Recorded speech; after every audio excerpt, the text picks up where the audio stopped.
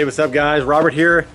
Just got done with six miles for a attempted run with little to zero training. So this was uh, something that I, I kind of regret. Um, I, my initial plan was to do about a 5K, 3.2 miles. Started running from my home, got about three miles out, felt really good. Um, and I just never stopped. So I just never turned around. And then I started to notice blisters, started to notice uh, hamstrings tightening up. So probably wasn't a good idea to go that hard, and especially with my weight right now, about 220. So obviously I like to run probably around 205, 210 at the most. And so right now I'm a little overweight, a little fat, so I'm trying to lose some of that, but uh, as you all know, it takes time to do that. So I'm just gonna kind of walk you through my recovery process because I'm gonna be feeling it tomorrow. I can already tell I, my, my hamstrings are aching. I got a huge blister on my foot, which I'll show y'all in a second. But uh, let me just kind of walk you through kind of as soon as I get home. I've already changed shirts, obviously. I just got home, I just changed shirts. I was completely drenched. It's Texas heat. And it's been raining here a little bit lately, so it's not that hot yet. But yeah, I was completely drenched, miserable on the way back. I had to walk. So I ran 3.2 miles, ran about four coming back over the dam here in Georgetown, Texas. And then I had to start walking. Um, I didn't walk the whole time. I did uh, two, uh, two, uh, two minutes of running, one minute walk. So I did about a two to one interval split. And uh, eventually though, my blister on my foot, my right foot got so bad I had to, um, I had to walk eventually. I had to, I actually had to change socks, switch feet thinking that would help, but uh, I guess the blister on my foot was already too bad at that point. But anyways, let me walk you through kind of my process for recovery, um, what I'm doing as far as nutrition goes, what I'm doing as far as stretching goes, Hopefully this video helps. If you find this helpful, let me know in the comments below and always subscribe so we can help this uh, help more people view this content and hopefully get better outcomes with their health and better health optimization. So thanks guys for joining me and let's take you inside.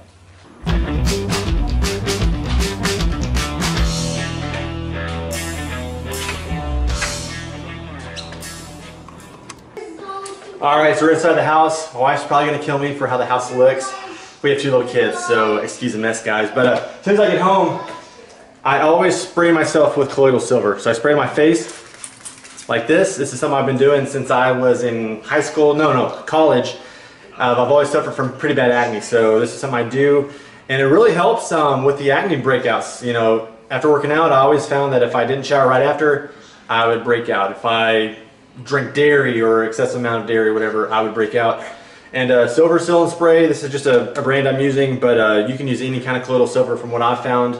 I used to go to Vitamin Shoppe and get colloidal silver all the time, and I just, um, as soon as I got out of the shower, or as soon as I get done with the workout, I spray my face with this, okay? So, as far as recovery goes, I'm gonna try to get a lot of water in, and some electrolytes. I probably sweated out like one or two pounds of water, probably in my run, completely drenched. So I'm gonna grab some water, some electrolytes, I'm gonna show you my pantry where all the supplements are. Here's the pantry. Where all of my supplements are. It's ridiculous, I know. Okay. Yes, I have an absurd amount of supplements, as you can tell. Uh, what am I going to do after this run?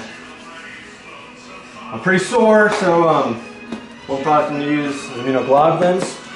A lot of studies have shown athletes get some intestinal permeability, so any kind of bad toxin that's in your body can get further into the bloodstream if that happens. So I'm going to take some of these for sure. I'm to take some protein. I'm to take this inflammatory product, which I love, anti-inflammatories. I'm probably to stick with these two right here. And probably some Nuun tablets. That's what I'm doing. Yep. All right, so I got two shaker cups here. Got my almond cashew, right? Because I told you told you guys I'm allergic to dairy sometimes. Not allergic, it just causes breakouts my face, which nobody likes, especially when you're 34 years old. So putting this into the smoothie, about eight to 10 ounces. That's actually all I have left right there. Got my Flamicore, which is also dairy-free, vanilla chai. You can see that golden spice flavor. This actually tastes really good.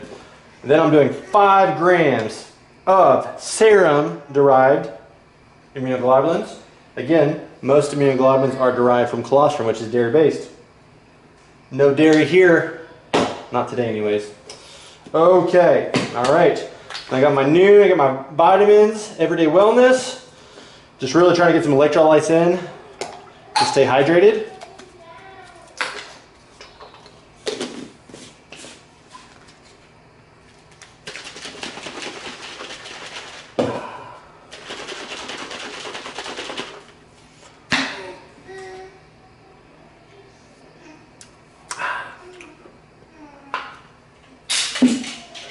Hmm.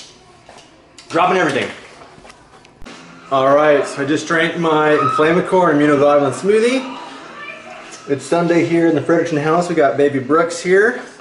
Baby Brooks wants to show y'all something. These are some of the treats that my wife and my three-year-old made.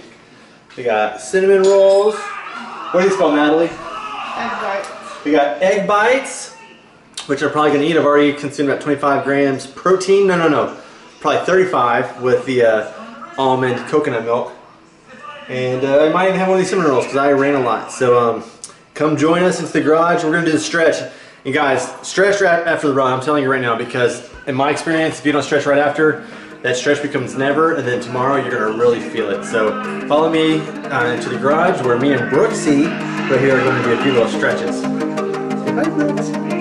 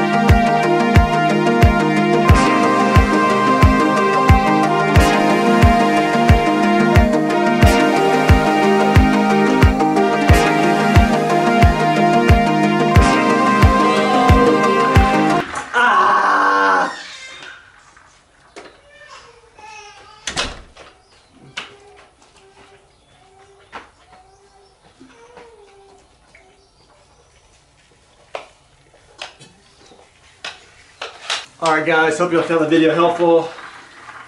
I got some ice cold water here. And I'm about to spray my three-year-old, or four-year-old.